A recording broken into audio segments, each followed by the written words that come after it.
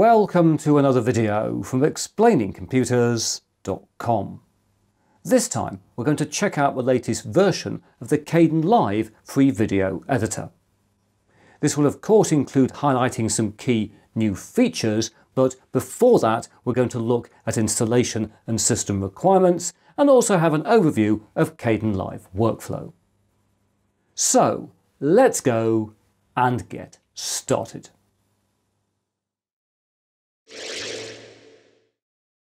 Right, here we are on the Kdenlive website where version 24.02.0 was released on the 11th of March 2024.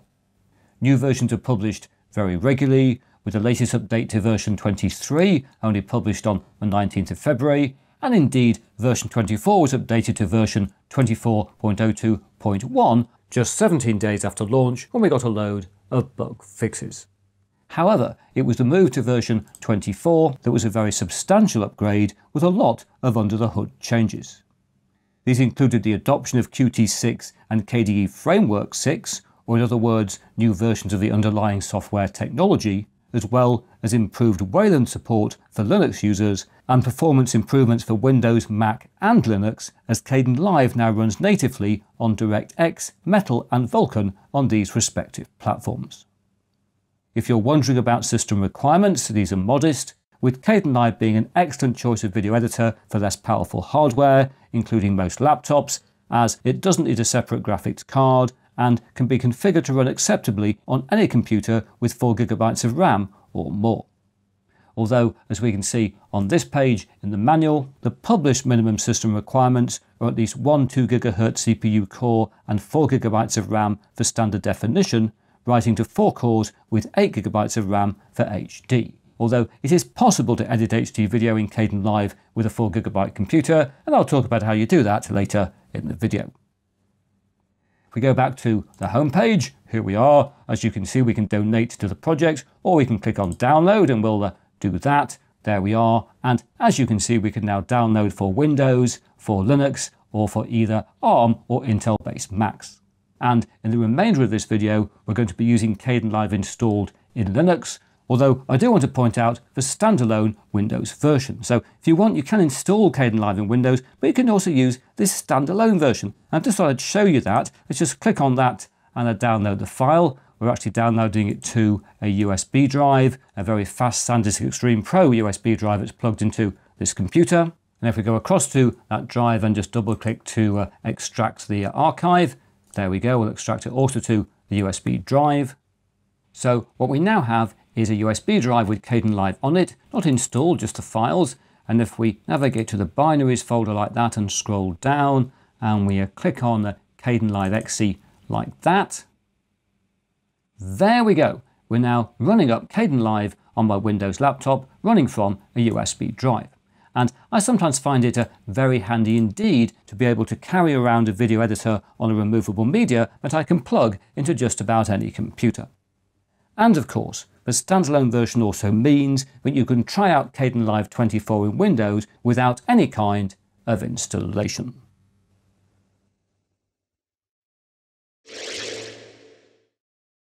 Greetings! Here I am back again running a Linux distro, specifically KDE Neon, which is created by the same KDE community that publishes Kdenlive, and earlier I went into the Discover Software Center and installed Kdenlive 24.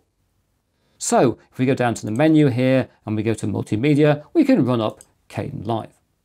And we're doing so on a J4105 test system, quite a low-end piece of hardware that just meets the specs for HD editing in Kdenlive, and I particularly wanted to use lower end hardware to test out Kdenlive 24 because in my view, if you've got a higher end system and you want a free video editor, you're more likely to pick something like DaVinci Resolve.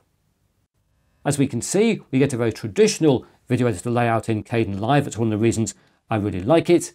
And we also have a range of layouts available. We can go here to, for example, the logging layout, like that for logging footage, the audio editing layout like that, the effects layout, the color correction layout, but we'll stick with the editing layout for now. And indeed, if you're new to Kdenlive, I suggest you stick with the editing layout as you first learn the package. As we can see at the top of the screen, by default it's created a 1080p 25 frames a second project, but we could change that if we wanted to. We could go to project and project settings and select uh, lots of different uh, project settings, but for now we'll go with the defaults and I think bring in some test footage. So if we go up here on the left at the top and click, we can add clip or folder like that. And I've got four test clips here in my video folder. Let's bring those in like that. And uh, there they are, it'll sort them all out. Oh look, we've got boats on the beach. That's very exciting. And down here we've got me on the beach. Even more exciting, when I click on the clip, it brings it into the clip monitor, where we can play it by pressing the play button there like that. I think in a second I'm going to say something very exciting to camera. What's it going to be? Go on, Chris, say something. So, here I am on a beach in North Wales.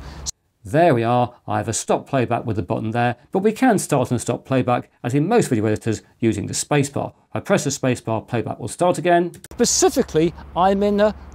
And I can press it again to stop playback. I take my mouse up here, we can see the audio, Well, we can see that probably we want to start the clip about there, and I can set an in point down here, pressing on the in point like that, in zone, and we can now drag the clip down to the timeline where we've got the start of an edit.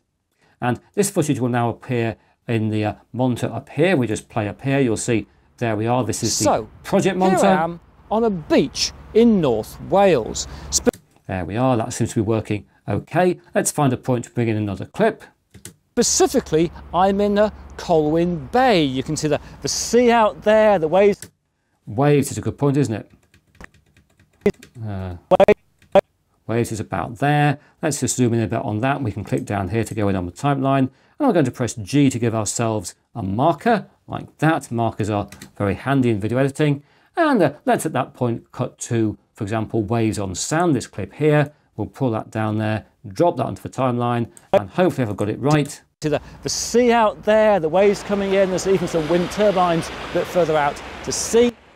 That's working pretty well, but I don't think we need the extra audio here, so I'll click on this clip, right click, we can do all sorts of things here, but here I'm going to ungroup clips, which will disconnect audio and video, they're now separate, and I can now delete the unneeded audio. Just press delete on the keyboard, that audio goes away. And let's also finish that clip around there. Let's just zoom out a bit to see the end. Let's just pull that along, something like that. Go back in again, which is all just very rough to show you what's going on and we'll have a nice long dissolve on the end of the clip. So let's just uh, play this. There, the waves coming in, there's even some wind turbines a bit further out to sea. And in this video, I'm going to be telling you about what's coming up here on Explaining Computers here on YouTube. And I think we'll finish things around there. Let's go to the cut tool there, cut off the end of this like that, and select that end of clip, get rid of that clip like that. And there we are, we've created a simple edit. And you might have noticed during the dissolve the playback wasn't perfect. Let's just show that again.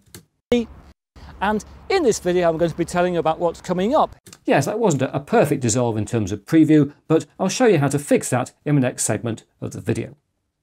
But for now, we'll stick with this uh, test edit. We'll go up to project and we'll go to render to uh, render out the project. I'll just make this a bit bigger on the screen so you can see things a bit more clearly. Here I've got things set with more options ticked. If you take that off, you have a fewer options. I always like to see uh, everything going on. Although, to be honest, you haven't got to change a lot here as you're getting used to Kdenlive. The defaults are pretty good. Here it's defaulted to outputting video in MP4 container with an H.264 video codec and AAC audio codec. And if you want to know all about containers and codecs, there's an Explaining Computers episode all about video formats, codecs and containers. Anyway, for now we're going to render out our clip, but in fact I haven't given it a name, have I? So what I'm going to do is to come out of this, I should have got this right, shouldn't I? Never mind. We'll first of all save our file as something, we'll give it a name, let's call it a test edit, like that, that'll do. And if we now go back into project and render, it's going to use the name test edit to render this out to uh, my videos folder, as you can see like that. We could have edited up there, but it's always a good idea to give a name to your project. And so if we now click on the render to file like that, it'll start rendering out our video. So let's just speed on through. And there we are, it's finished. So I'll just uh, close this down like that. and we'll go to the uh, Dolphin file manager and go to uh, videos. Let's go home and to videos like that. And there is the file we've just created. So let's play the file. So here I am on a beach in North Wales. Specifically, I'm in a Colwyn Bay. You can see the, the sea out there, the waves coming in, there's even some wind turbines a bit further out to sea. And in this video, I'm going to be telling you about what's coming up here on Ex And as we can see, that all worked just fine. I've demonstrated the basic workflow for editing in Kdenlive.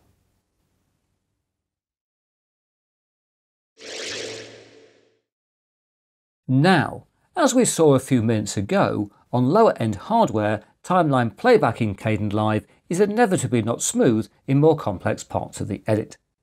And to remind us of this, let's just disable the audio over there because I don't want to be talking over myself as I keep replaying this clip. And if I do play the clip and we get to the mix, we can see we don't get smooth playback.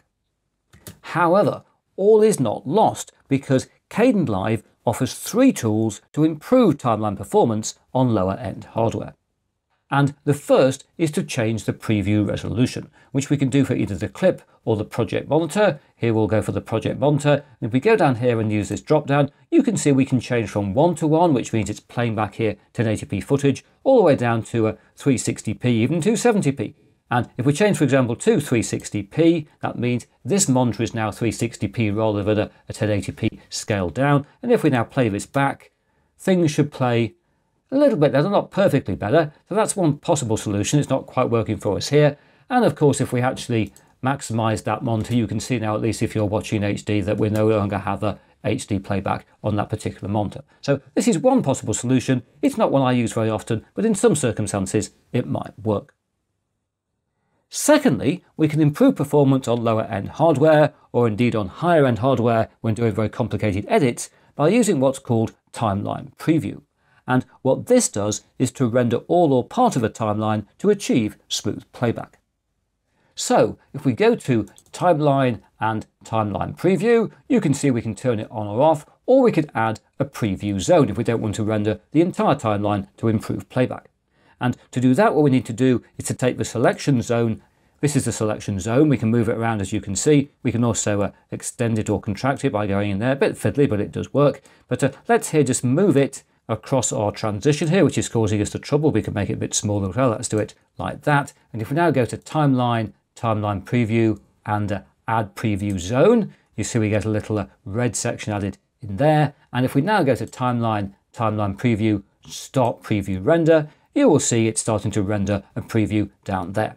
So uh, we'll just speed on through until that's completed. And there we are, it has. And if we now play back this edit, surprise, surprise, we're going to get a very, very smooth transition. There we are, because we're using a timeline preview. However, you might not want to do this, and there is yet another option. So let's first of all just get rid of what we just done. We'll go to timeline preview and uh, remove all preview zones like that, timeline preview, and uh, we will stop it so it's not uh, doing anything here. Because the final thing we can do is to use what are called proxy clips. And what this does is to create lower quality versions of our video footage that are used for timeline playback, although the original footage is still used to render the final film.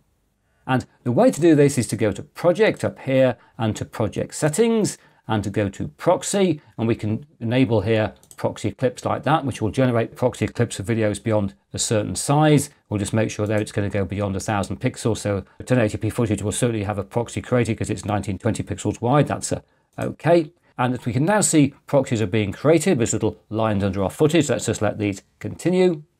There we go. All clips are now proxy clips. Some were proxy clips very quickly because I've been experimenting before recording this part of the video. But uh, the good thing now is if we now go back to our edit and play again, once again, we should get a nice smooth transition because here we're using proxy clips. And it's worth pointing out if you do want to use proxy clips, the easiest way to do it is go to settings and to configure Kdenlive and go down to a proxy clips as you can see and enable proxy clips for all new projects and OK.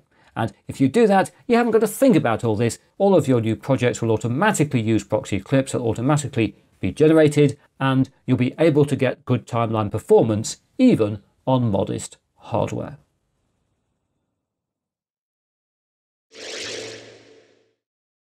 So, now that we've had a decent look at Caden Kdenlive operation, let's turn to what's new in version 24. As noted earlier, a lot of the improvements are underlying technology changes which improve performance and stability, as well as providing a more robust foundation for the future. However, there are also some specific additions and new features, such as support for multiple subtitles.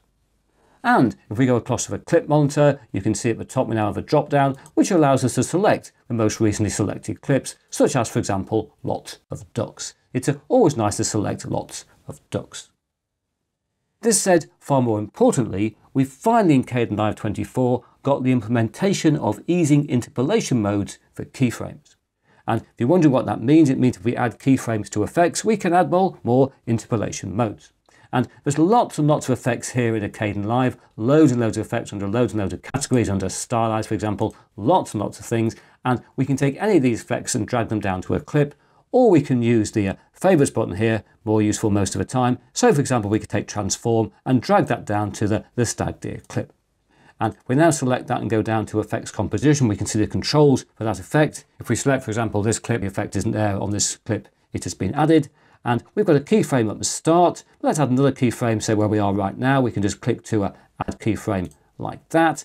And what should we do? Let's, for example, change the size to uh, 47%, always a good number. And we'll move the deer up to the top. We've now got a, a picture-in-picture -picture effect and that'll move between two keyframes. We go back to the first keyframe over there and it'll move across to a position over there. And now in Kdenlive 24, we can click over here and we've got loads of new easing interpolation modes. Now, admittedly, we still don't have ease in and ease out, which is what I most want, and we don't have a graph editor. But it is good to see that Kdenlive is moving towards the implementation of these critical features. Staying with effects, it's now also possible to add an effect to multiple clips at the same time. So if I select multiple clips, which we do by holding down the shift key and dragging like that, I've now got a three clips selected. What should we select? Let's take, for example, charcoal, drag it down to one clip, and it's added to all the clips. It's on the ducks, it's on the deer, and it's on the, uh, on the, on the beach. It's a bit weird, I probably wouldn't use that effect, but you can see the principle. And we can also now turn effects on and off for a clip, either by using the panel over here or by using a toggle on the timeline. We can tick over there and check over there and check over there, and all the effects are gone for our clips.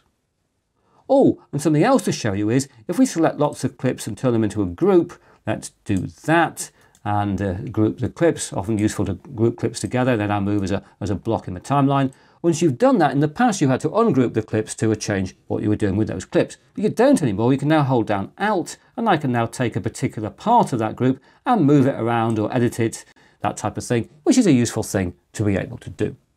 And so, as we can see, there are a few little things to make life easier here in Kdenlive 24, along with the more fundamental underlying technology changes.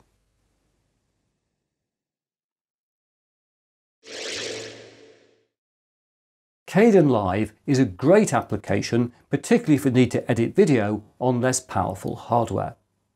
Indeed, recently I needed to spend a lot of time away from home, with the only computer I had available being my dual-core i5 laptop, and on this computer I used Kdenlive to edit a lot of the video content I've posted on this channel in January and February 2024. And this has left me with a deep respect for Kdenlive even though I normally edit in Premiere Pro or DaVinci Resolve, which uh, I couldn't run on this laptop. And so, although I've used Kdenlive before, I've used it a lot on Raspberry Pi for example, I've now got an even greater appreciation for it. It really is fantastic free open source software. But now that's it for another video. If you've enjoyed what you've seen here, please press that like button. If you haven't subscribed, please subscribe and I hope to talk to you again very soon.